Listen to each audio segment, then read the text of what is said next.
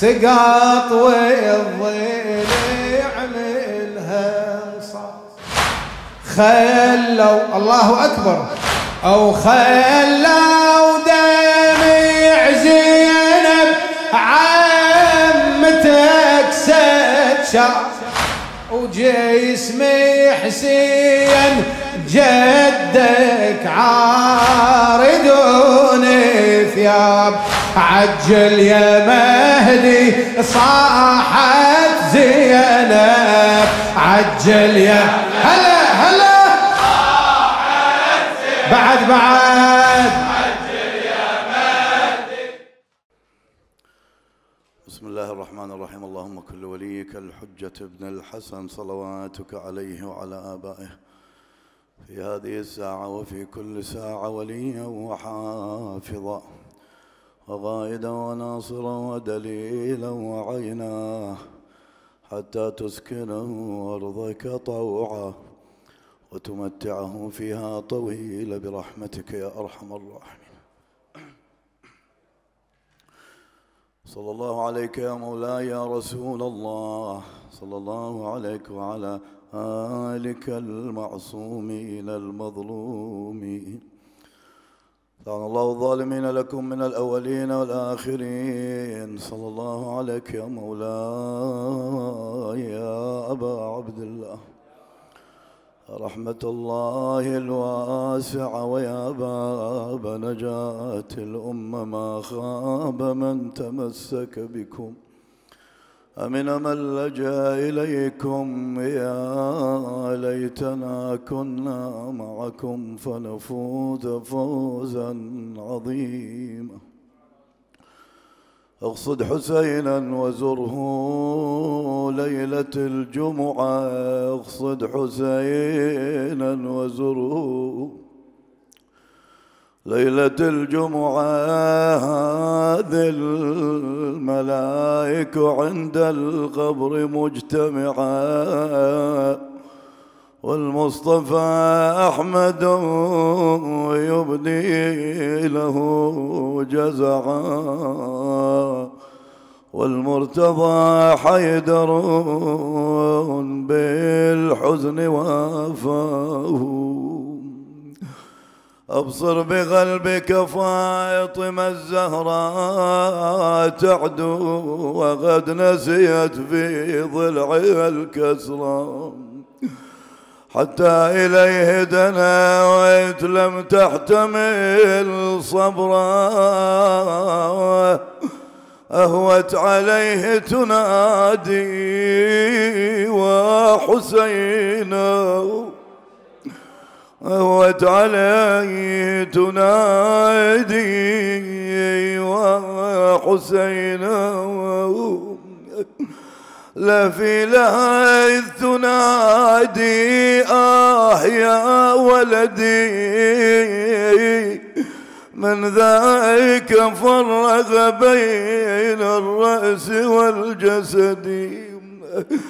أجيت بالدمع يروي قلة الكبد. لكنها انتثرت بالسهم ويلاه بين البتولة تبكي إذ أتت زينب. صاحت حبيبي وضجت بالأسى شاء الزمان بصوت الشمر أن أضرب وأن نساق إلى الطاغي سبايا أنا الأميرة هل أسبى إلى القصر؟ أنا العزيزة هل أبغى بلا خدر؟ أخت الكفيل وتحدوني يد الشمر. أخيك مرين بعدك جرعنا. خويا ردنا القوم بينا بليل يمشون. حتى لا على الشامت يمرون يمرون. يا خويا شلون؟ قل بالبقى شلون؟ اش كثر عدهم؟ حجر خويا يرامون يرامون. ويصيحون الخوارج هل يصيحون؟ والله أنا الجنت بالكوفة الأميرة الأميرة. وكون اليوم طبا أسيرة. خويا كاين من الزلم عند عشيرة عشيرة. الحاد الحاد مر من يم زينب وفات. وقف باب يكرهون وقفات وقفات. سمعوا زينب أغسج المات. هاي الأخوة من العطش مات.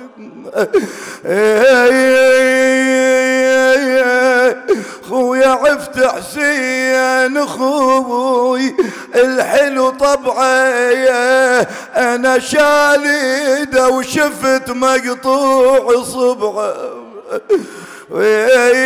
الفرقة وداعتك خويا اي صعبة. جثث من دون روس هناك ربعة ربعة. اي صاحت مشي أنا مشي أنا. خويا مشي أنا والرماح الشايل الروس. الخيل مدمرة دم كانت تدوس.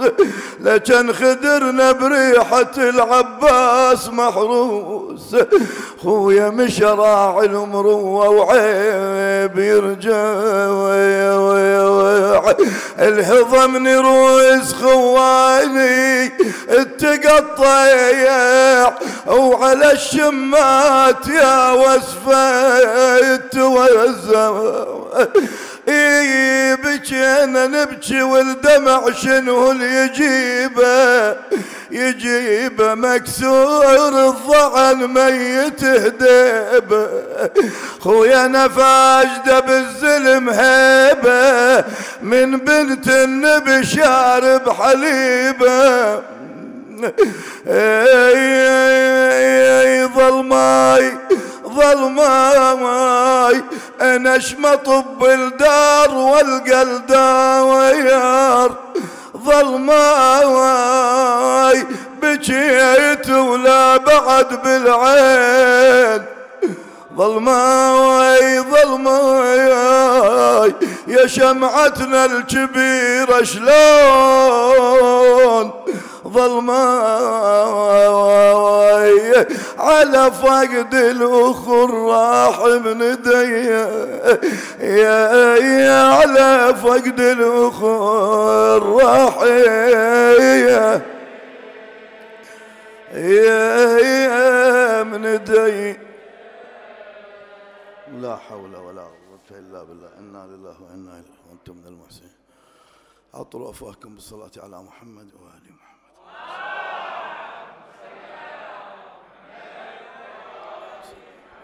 بسم الله الرحمن الرحيم. إنما المؤمنون إخوة. فاصلحوا بين أخويكم واتقوا الله لعلكم ترحمون. في كل مجتمع من المجتمعات الإنسانية أي مجتمع يكون فيه قوانين. لابد أن يكون فيه رؤى ومفاهيم. طبيعي إذا كانت هذه القوانين والمفاهيم والرؤى آه، تعتمد على أن الإنسان يتحاور مع الإنسان الآخر يعني أتحاور معك. يستمع إلى وجهة نظر قد تكون مخالفة لوجهة النظر الأخرى يلتقي معه يسلم عليه يكون معه. هذا مجتمع متآزر متعاضد متعاون لكن لا سمح الله إذا انعكست المفاهيم وجاءت رؤى ومفاهيم وقوانين تدعو إلى البغضاء والجفاء وأن الواحد ما يحاور الآخر يهرب منه. تشوفه بالسلام يمر يسلم على فلان يترك فلان. يروح هذا يترك هذا.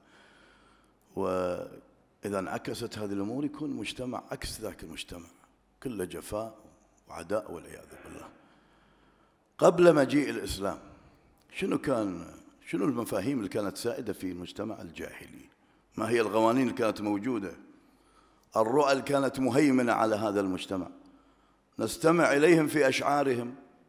شعر ديوان العرب كما يقولون. كان هناك أهمية للشعر والشاعر أيضا. وقد كتبوا بعض القصائد بماء الذهب وعلقوها أو وضعوها في جوف الكعبة لأهميتها. فتشوف شاعرهم هو اللي هو اللي يحكم. بغاة ظالمون وما ظلمنا. ولكننا سنبدأ ظالمين. إذا بلغ الفطام لنا صبي تخر له الجبابر صاقرين إحنا هالبغض وعداء وحتى أطفالنا نرضعهم البغض والعداء. إيه، هكذا. هذا قانون مفهوم هذا كان موجود. شاعر آخر يقول لا يسألون أخاهم حين يندبهم يوم الكريهة عما قال برهانا. يعني ذا يا أخوي ابن عمي أفزع معاه بعد. حق وباطل ما أسأل صح وغلط ما أسأل. أخوي وابن عمي موجودة هذه بعض المجتمعات موجودة. ما أسأل عنها. يقول هكذا ولذلك الإمام زين العابدين سلام الله عليه يقول ليس من العصبية أن يحب المرء قومه أهل عشيرته صلة رحم بالعكس. ولكن العصبية التي يؤثم عليها الرجل هو أن يرى شرار قومه خير من خيار قوم آخرين. أشوف أخوي هذا المعتدي بن عمي الغاصب المعتدي السارق أفضل من قوم آخرين عائلة ثانية عندهم ناس أخيار. والله لأن أخوي هاي عصبية يؤثم عليها الرجل. شاعر ثالث ماذا يقول؟ يقول إذا أنت لم تنفع فضر فإنما يرجى الفتى كيما يضر وينفع. يا أخي إذا ما تقدر تصير شخصية معروفة بفعل الخير صير شخصية معروفة شنو؟ بفعل الشر. أهم شيء تكون معروف. هذا مفهوم كان عندهم. وشاعر أخير ماذا يقول؟ يقول وأحيانا على بكر أخينا إذا ما لم نجد إلا أخانا. إذا ما لقينا واحد نحتدى عليه وين نروح؟ أخونا موجود يمنا مو بعيد. فيقول هكذا المفاهيم. في ظل هذا الجو المليء بالبغضاء والعداء وإذا بالإسلام يأتي والقرآن ينزل ها إنما المؤمنون إخوة بعد ماكو فلان منا وفلان منا وفلان منا. ولذلك تشوف بداية الإسلام. صهيب الرومي من الروم سلمان المحمدي من فارس. بلال الحبش من بلاد الحبشة. أبا ذر الغفاري عربي. جميعهم انصهروا في بوتقة الإسلام. بعد ماكو منا ومنا ويقول الإمام العسكري سلام الله عليه قال العالم فيما يقول عن أبيه الإمام الهادي المؤمن أخو المؤمن من أمه وأبيه. مو إخوان شقاء لا إحنا نتكلم عن المؤمنين. بعد ما ما رحنا للأشقاء إخوان المؤمنين. الأخوة في الدين من أمه وأبيه. أمير المؤمنين سلام الله عليه يقول الأخ المكتسب في الله أقرب الأغرباء وأرحم من الأمهات والآباء. يظل معاك لآخر لحظة. رسول الله صلى الله عليه وآله يقول المؤمنون تتكافأ دماهم هم يد على ما سواهم يسعى بذمتهم أدناهم. أدنى واحد. هنا واحد مو مسلم يقول أنا أطلب لي فلان مسلم. أنا. يسعى أنا أدناهم. يسعى بذمتهم أدناهم. ولذلك تشوف رسول الله صلى الله عليه وآله قبل الهجرة بمكة آخى بين المهاجرين أنفسهم ولما جاءت الهجرة المباركة وضع يد المهاجري بيد الأنصاري. ها فلان مع فلان يقول فبقي أمير المؤمنين وحيدا الحالة. فجاء وقد غرورغت عيناه بالدموع. قال حبيبي سيدي يا رسول الله أراك تركتني وحيدا؟ تأخذ قال إنما ادخرتك لنفسي. أنت أخي في الدنيا والآخرة يا علي.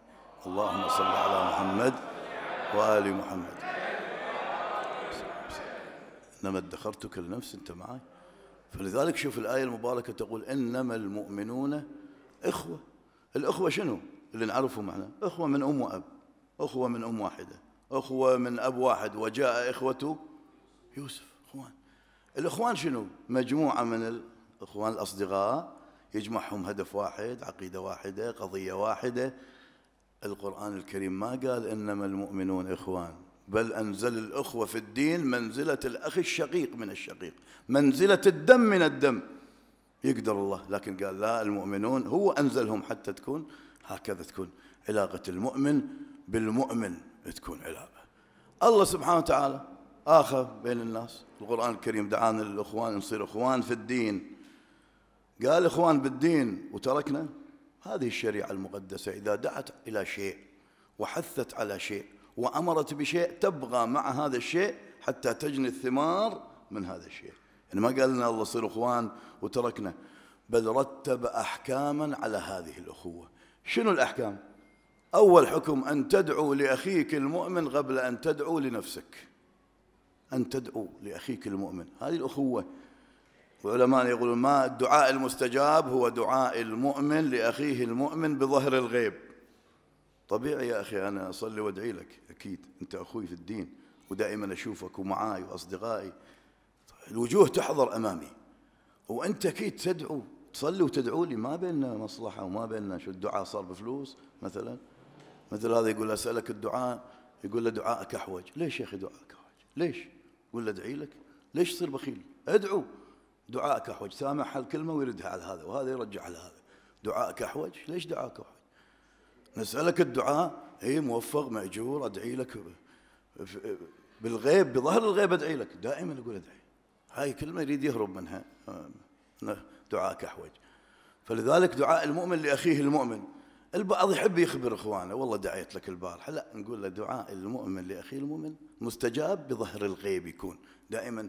قبل أن تدعو لنفسك تدعو لأخيك المؤمن. بعد حكم آخر رواية تقول إذا كنت صايم صياما مستحبا. صيام مستحب. ودعاك أخوك المؤمن. قال لك تعال تغدى اليوم الغداء عندنا الظهر اليوم. تيت. منو الأفضل؟ تبغى على صيامك لو تجيب دعوة أخيك. اي تجيب دعوة. إجابة دعوة أخيك المؤمن تعادل ستين صياما مستحبا. بس مو تكلفة عاد تروح له والله أنا صايم والخاطرة كان لو أنت مو لا تكلفة وصيام مستحب يا أخي. والله كاتب لك فيه. والله أنا صايم كنت ولو ما أنت كلمتني لا تكلفة. هو ما يدري وأنت ما تدري. هذا حكم. بعد وقف أهل البيت سلام الله عليهم. موقف صعب من عمل العمل مع السلطان الجائر. قال الإمام الكاظم سلام الله عليه كفارة عمل السلطان الإحسان للإخوان. أي السلطان الجائر طبعا. الإحسان للإخوان. علي بن يقطين كمثال كان في وزيرا في البلاط العباسي. وجود الإمام الكاظم شلون؟ وموالي بعلم الإمام برضا الإمام خلص أمور الشيعة المؤمنين. ودائما يدخل على الإمام أي يوم يدخل على الإمام؟ فحجبه الإمام. قال له ما تدخل. حجب الإمام. كل يوم يدخل. قال والله لا أرضى عنك حتى يرضى عنك أخيك صفوان بن يحيى. يمكن جاية معاملة ومو مخلصة مثل الجماعة. تروح له هذا شغلك خالص رفيجك منك يوديك لواحد آخر.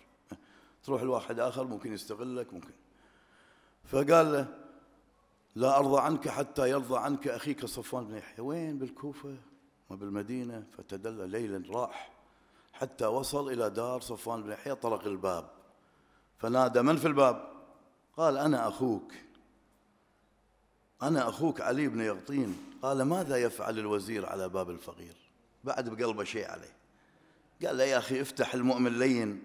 يعني خلاص إذا ياك أخوك ورجع لك وكان غلطان مثلا خلاص يا أخي شنو قلبت الدنيا؟ حدود مثلا بيننا وبين بين الأخو وأخوه حدود دول هي. خلاص. لا العتاب الزائد يولد مشاحنات ونبدأ من سا... من نرجع نقطة الصفر. ما قدمنا أي شيء. خلاص ياك أخوك واعتذر. أهلا وسهلا. انسى شوية. أيام بسيطة هي. هل تشوف؟ قاعد نودع أحباب. فافتح يا أخي أنا أخوك المؤمن لين. فتح الباب فتح الباب. قال والله لا يرضى عني مولاي باب الحوائج. موسى بن جعفر حتى ترضى عني أنا جايك. بس سمع اسم الإمام. قال والله يا أخي أنا رضيت. تشوف اليوم مشاكل تجيب لهم سادة علماء تجيب كبراء قوم ماكو أبدا. هذا بس سمع اسم الإمام. قال والله يا أخي لقد رضيت ما أريد شيء. قال لا أنا مو راضي. علي بن يقطين حتى تطأ بنعلك هذا على صفحة خدي. حتى بعد ما أعيدها. يجيني أخوي ما أخلصه ويغضب علي إمامي. هذا إمام زمانك شلون الآن وياك أنت؟ ها. قال يا أخي ما يصير أنت أخوي ومؤمن ووزير. قال لا لا ما أرض ما أروح اليوم. فيقول وطأ نعم وطأ على صفحة خدة بناء على رجع للإمام. سلام الله عليه. لقى الإمام فاتح بابه أهلا بشيعتنا ومحبينا. إيه. اللهم صل على محمد وآل محمد. كلمة شيعة ما تنطلق على أي واحد إنه شيء محبينا موالينا لا قال له شيعتنا ومحبينا لأن يرخص نفس الأخوة. هكذا. الله رتب أحكام سبحانه وتعالى. لكن أنا وأنت شلون نوثق علاقتنا ببعض؟ الله قال هاي أحكام. أنا الآن دوري ودورك. أول ترتيب علاقة أو توثيق علاقة هو بالسلام. السلام عليكم.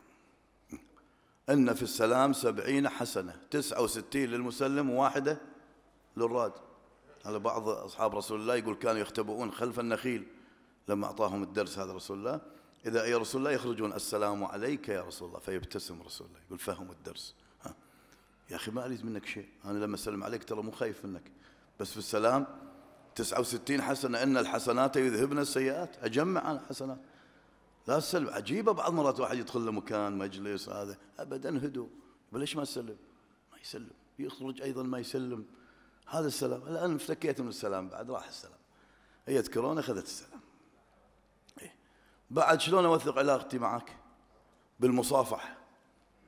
تصافحوا. فإن التصافح يقول الإمام الصادق يزيل السخيمة. قيل وما هي السخيمة؟ قال الحقد والعياذ بالله. الآن بعد قال لك والله ما أقدر. إجراءات صحية وتباعد. بعيد عني. راحت المصافحة بعد.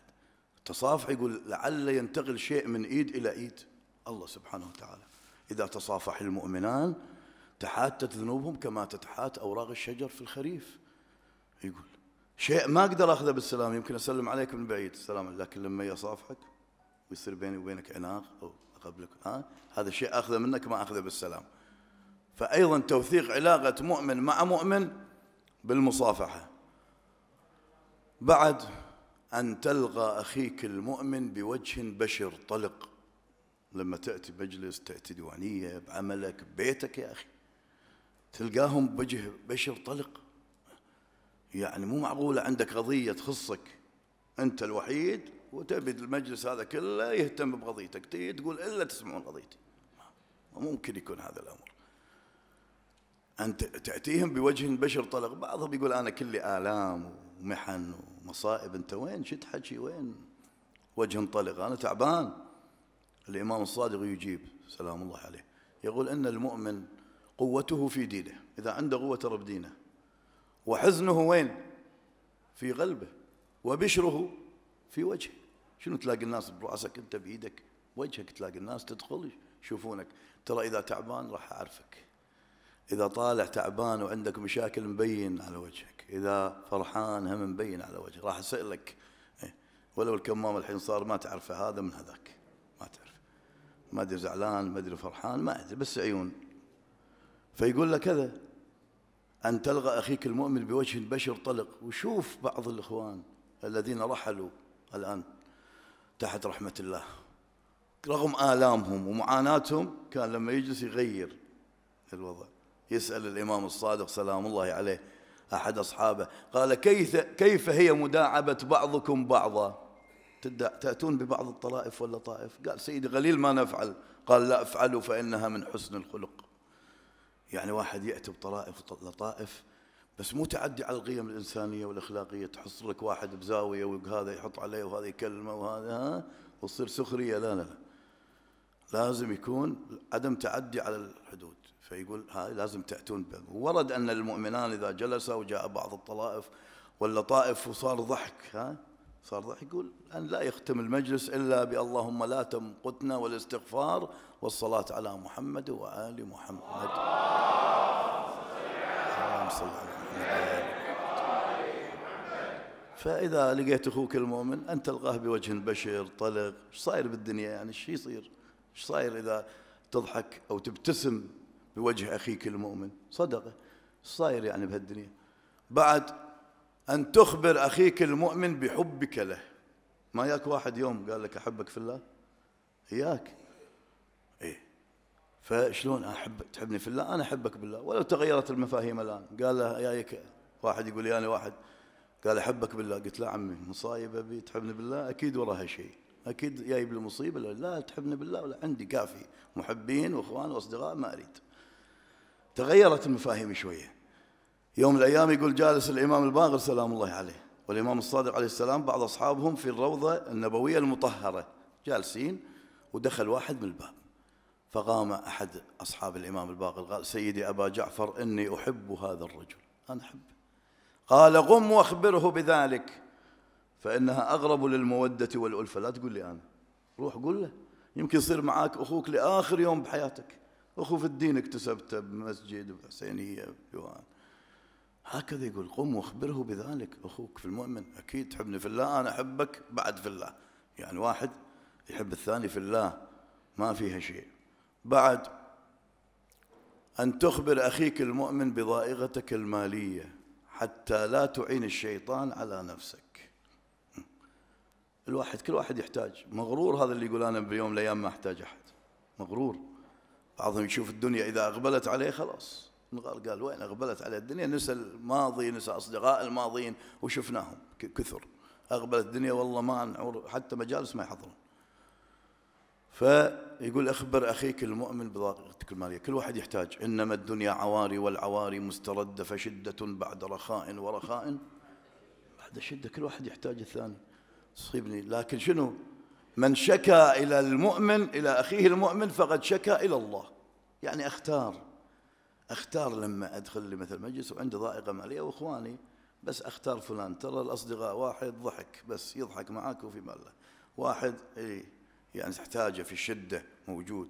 واحد تبي يخلص لك شيء هذه معروفين. واحد ضحكة ويمشي عنك. فأختار المؤمن.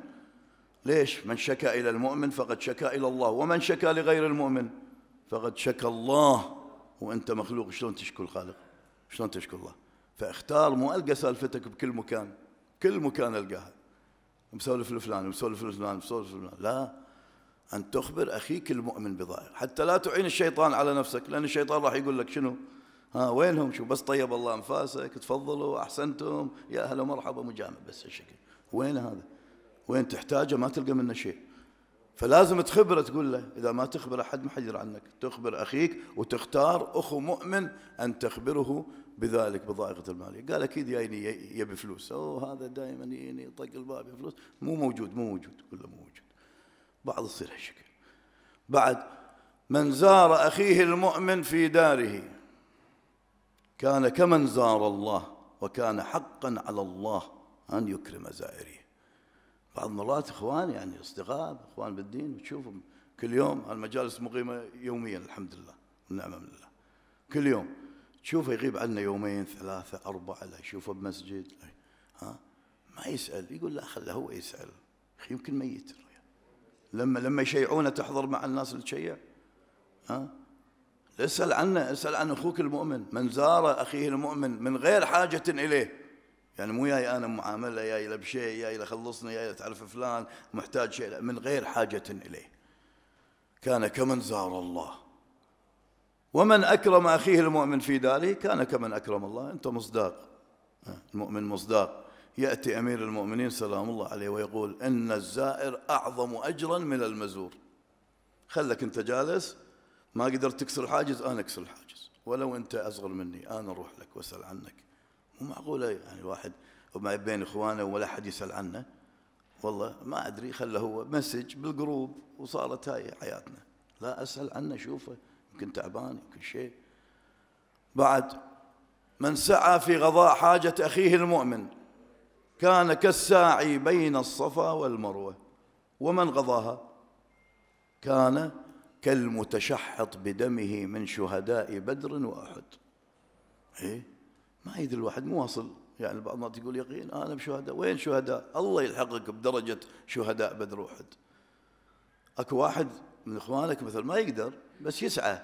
اكو واحد قاعد يقدر يخلص شغلك لكن ما ساكت.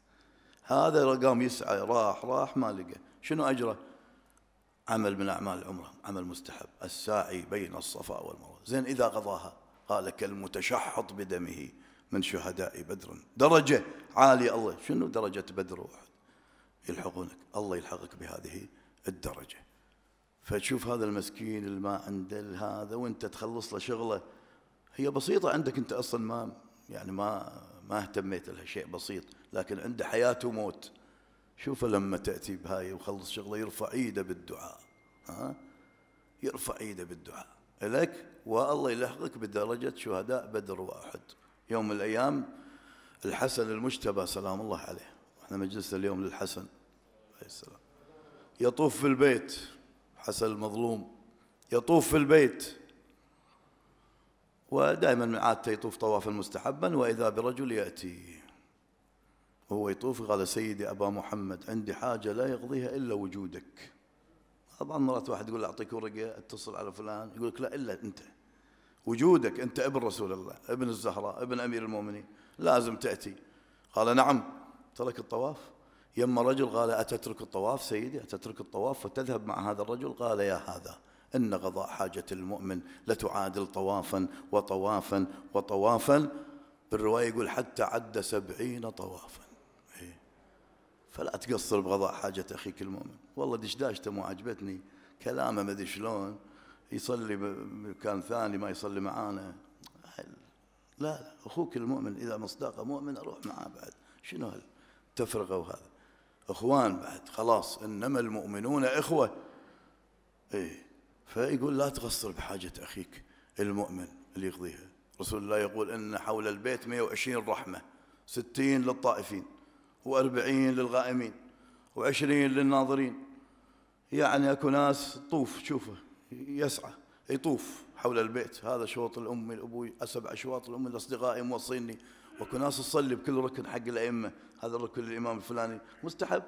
وأكو ناس تنظر يقول أنا تعبان لا أقدر أطوف ولا أقدر أصلي؟ خلينا ننظر للبيت. فيقول ستين للطائفين وعندك سبعين طوافا يعد الإمام وشوف كثر من الدرجات عندك في قضاء حاجة أخيك المؤمن كما يقول. فهكذا الأخوة. ونتعلم الأخوة من أخوة الحسين سلام الله عليه. شوف شكون كان ينظر الحسين لأخيه الإمام الحسن سلام الله عليه. هم مؤمن وهم أخوه في الدين وهم شقيقة. شنو كانت النظرة إليه؟ نظرة ها؟ يباع ينظر له هكذا ينظر للإمام الحسن سلام الله عليه. وجرى ما جرى بأيام الحسن. المظلوميات التي صبت على الإمام الحسن لليوم؟ أول شيء عدم ذكره في المجالس. والحمد لله اليوم ذكرنا لا بيوم ولادته ولا شهادته. وهذه نعمة أنه يذكر الإمام الحسن يخصص له يوم ها؟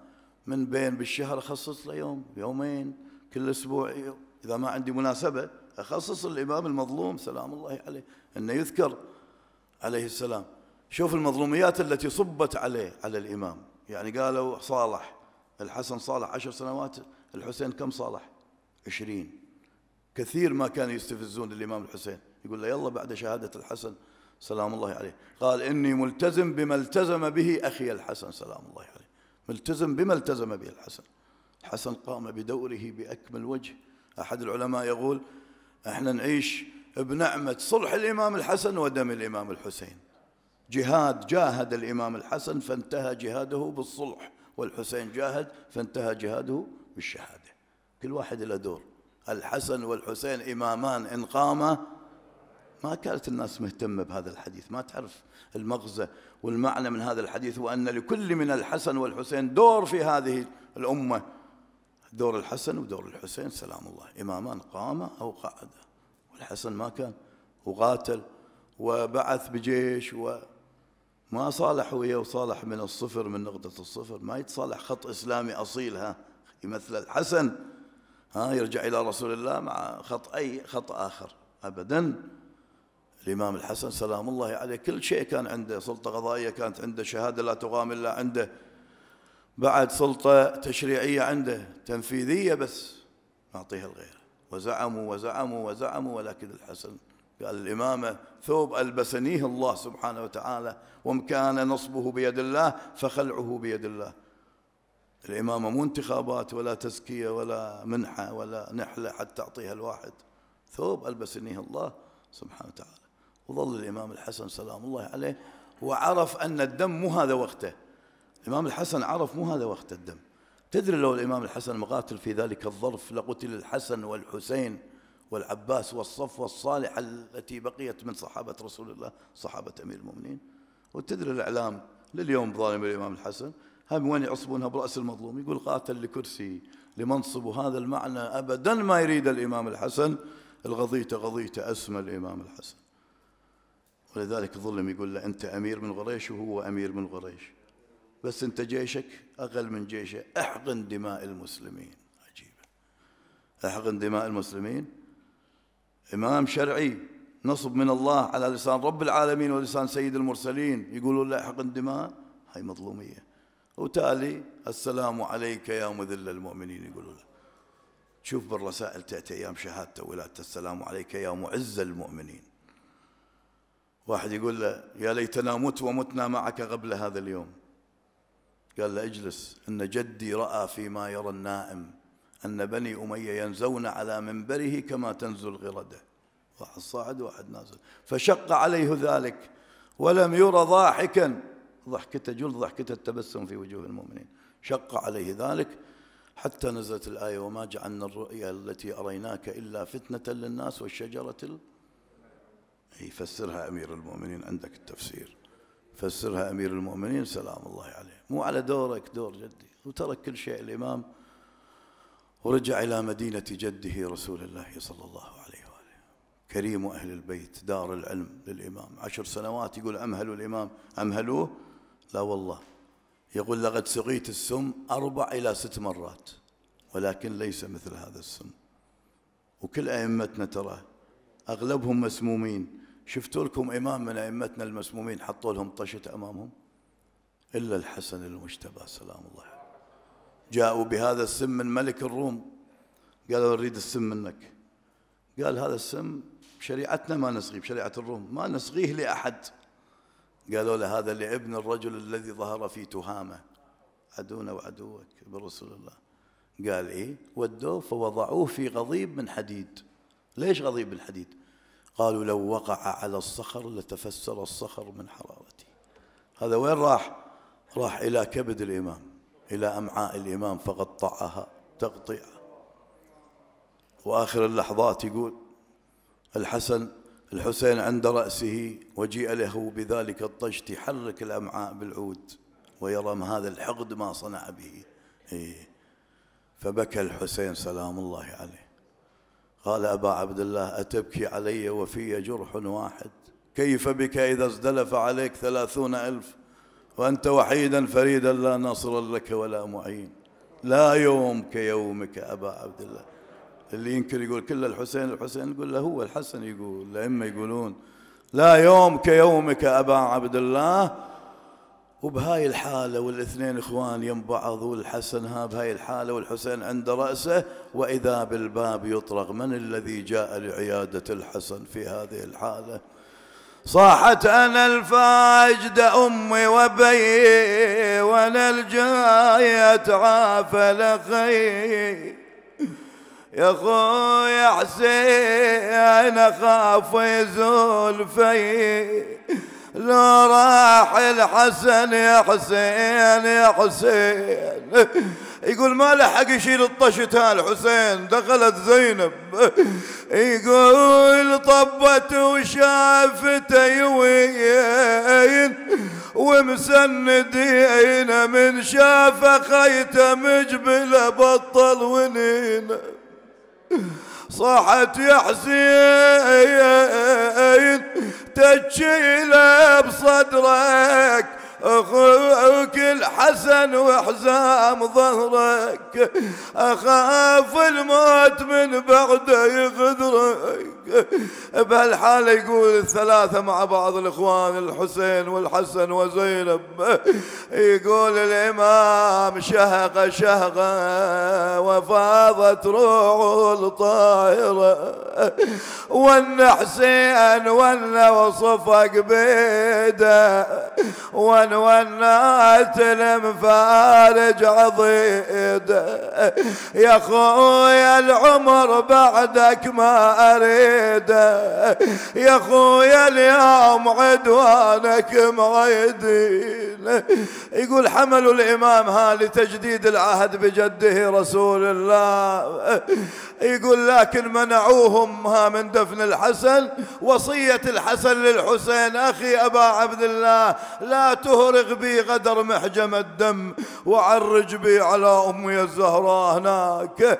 عرج على قبر البتول بنعش بنها ودفنا بكترها بلجتي هون حزنها عرج البغيع. أدفن رأسي تطيب مجالسي. وخدك معفور وأنت تريب وليس حريبا من أصيب بماله ولكن من وراء خريب ما أدري لا ما من نزل بقبره عفا قلب الحسين اش كبر صبره. ورجع لزينب ها يكفكف دموعه بكمه لزينب. آه يا ابو محمد نحل جسمي على فرقك يا ابو محمد نحل جسمي على فرقك يا خويا نروح كل إحنا فداياك اخذني للقبر يا خوي وياك. بس انت يا بحر الجود تسلم. ورجع لزينب ها يخفي دموعه عن زينب. زينب أسرجت الضياء مكان وفاة الحسن. صاحت علي مكتوب كل أهلي وادعوني وشاهد كل مصايبهم يريدوني. يا هل ماشيين عني وياكم اخذوني أنا زينب اصيح وما تسمعوني. يا زينب شلون حالك اليوم والحسين داخل عليك؟ امس ياك الحسن دافن أمير المؤمنين اليوم الحسن الحسين دافن الحسن. قالت يا حال شلون حال الفقدة ابن امها تحاكي يا خويا وما يكلمها وأشوف حسين عني دمعته يضمها سيدتي زينب أنت شفتي طشتين ها طشت ها شفتي هذا أمامك؟ وطشت بالشام عندك بعد طشت. أي الطشتين أعظم؟ صاحت هذا أول طشيت. شفته ودليل انطار. طشت ثاني شفت بعراس أبو الأكبر. ينشدون يا زينب يا مصاب أكثر. أقول لهم مصاب حسين هو أكبر. ليش سيدتي وهذا الحسن شقيقك الأكبر؟ تقول الحسن شفت إخوتي يما يودعونه يوصيهم وهم يما يسمعونه أخوي حسين ما حد غمض عيونه. عار على التراب ولا يوارونا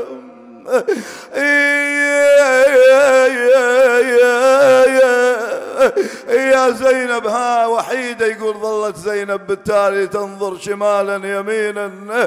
ها يا غريبة وشايلة بعينك نهار. إيه، منين أدور لك يا بنت حيدر كفيل بهالظلام منين أدور لك قمار؟ طولك اللي كان شوفه مستحيل.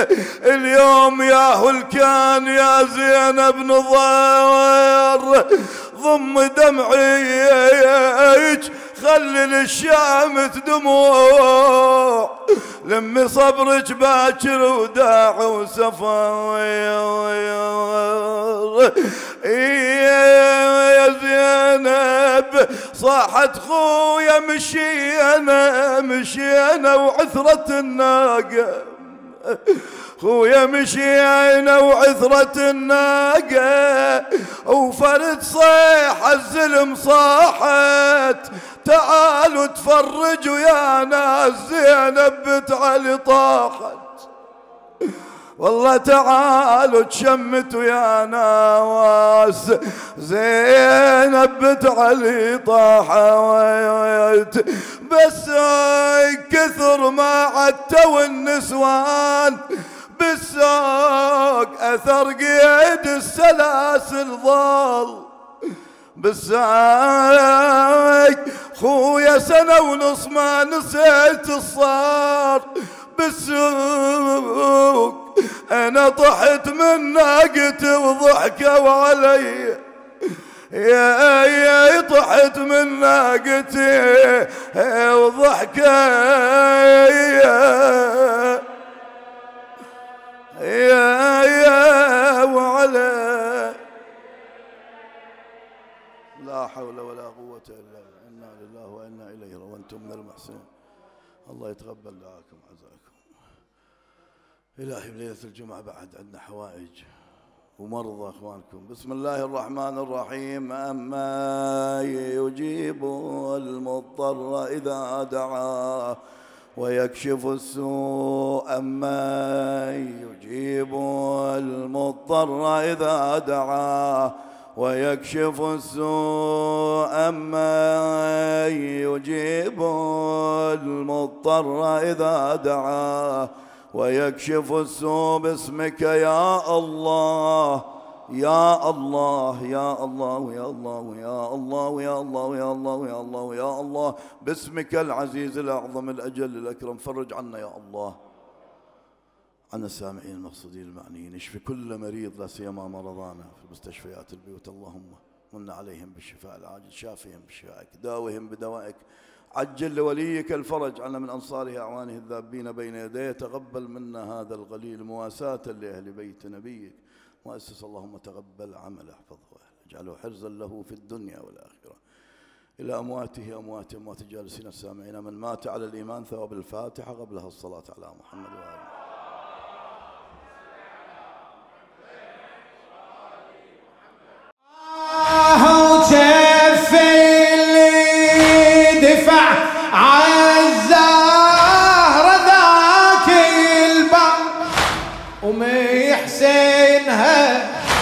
سقاط والضلع منها صار خلوا الله أكبر. أو خلوا دمع زينب عمتك ستشار وجسمي حسين جدك عاردوني ثياب عجل يا